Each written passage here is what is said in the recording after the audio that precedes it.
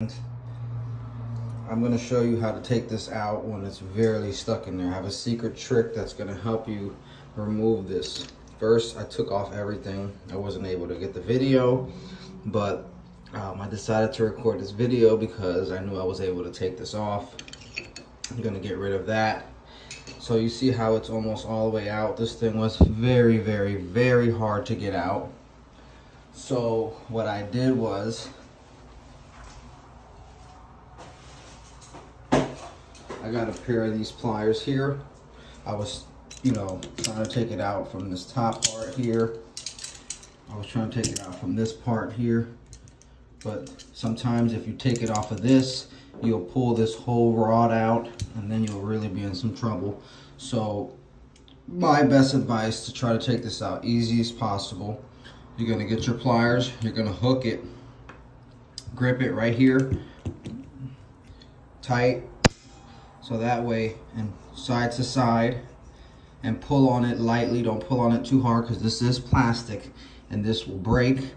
Um, but yeah, this is how it comes out very easily. And boom, it's all out. That easy, that fast. This is the Moen uh, 158084 1220 piece. It came out very easy. A little bit of the rubber is what holds it in could turn the water back on and let the pressure blow everything else out. But um, that's basically what I did, take it out. Now, to put the new one in,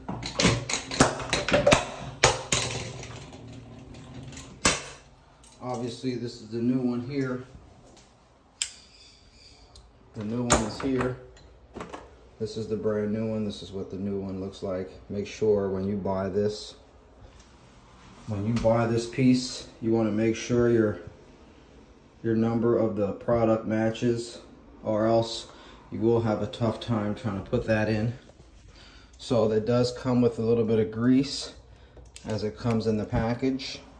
You want to grease it up all this in the back before you install. You know, um, so let's do that.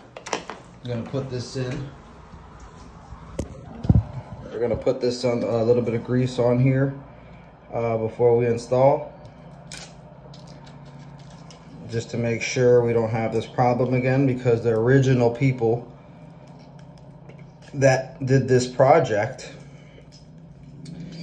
didn't put grease on it enough and it was stuck in there. I was there for 30 minutes trying to take something out that wouldn't come out. It was a headache.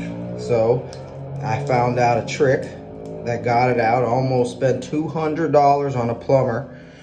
A plumber, almost $200 almost got charged by a plumber to come out. Just to come out and look at it, he was charging me 75 So I said, you know what? I'd rather try fixing it than paying someone. So here it is. We're gonna put the new one in. Put it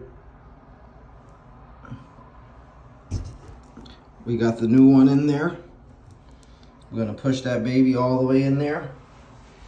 Make sure it works.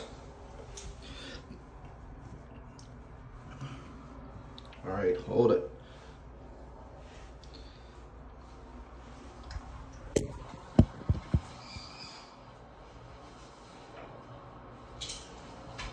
Gonna do the same procedure we did to take it out, just to install. Make sure you put this in correctly or else it's not gonna work. You wanna make sure it's back enough so you can fit the pin. There it is, it has to be flush. It has to be flush in there, hot and cold. There's a pin that goes right up top. That's gonna go in there. And then once we put that pin in there, you're all set to go. Your water will be back together.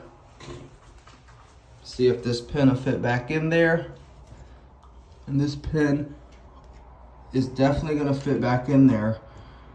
We're gonna just have to see how we're gonna fit it back in there. All right, let's see